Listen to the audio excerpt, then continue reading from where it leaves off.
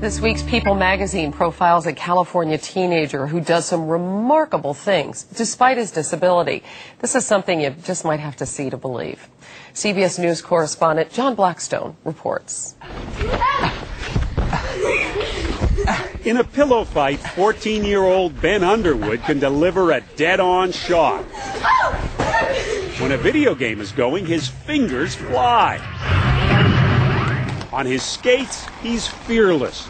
For most teenagers, it's nothing remarkable. Car, car. I hit a car.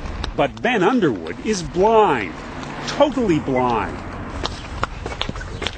Hear the clicks? That's how he finds his way around. To walk down the street with Ben is to be amazed at what he can see with his ears. Well, there's a fire hydrant on the side and a car on this side. Wait, is that no? That's a trash can or that? Hold on, let me see. That's a trash can. yeah, that's a trash can. Ben was just two years old when cancer claimed his eyes. Both were surgically removed. And he woke up from that surgery and Ben said, Mom, I can't see anymore. I can't see anymore. And I said, You can't use your eyes, but you got your nose and your ears and your mouth. From that day on, Ben has used his hearing, his touch, his sense of smell to conquer a world of darkness. It's sometimes hard to believe how good Ben is. Just watch the way he deftly steps around a fallen trash can. I don't know how you do that.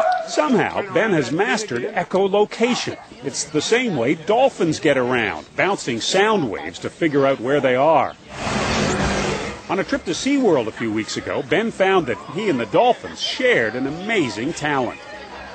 All right, ready? Out of the water, it becomes easy to forget that Ben is blind. Ha ha! That was luck. How else to justify my pleasure when I put a couple of goals past him? Ah, you thought you're so good. I am good. He is indeed. Ben beat me five to two.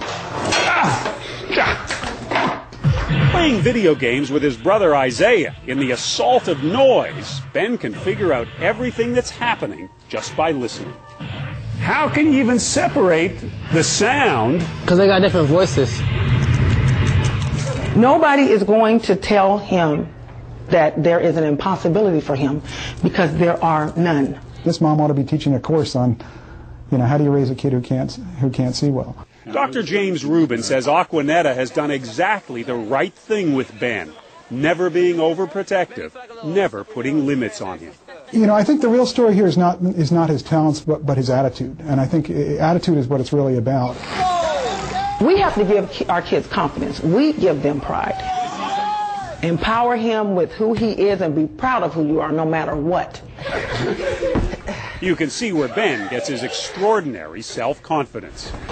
There's nothing that you can do I can't do better. and that's the attitude. You know what I'm saying? That's what I want to give him. Watching him in action, it seems clear that Ben really can do anything. For the early show, John Blackstone, CBS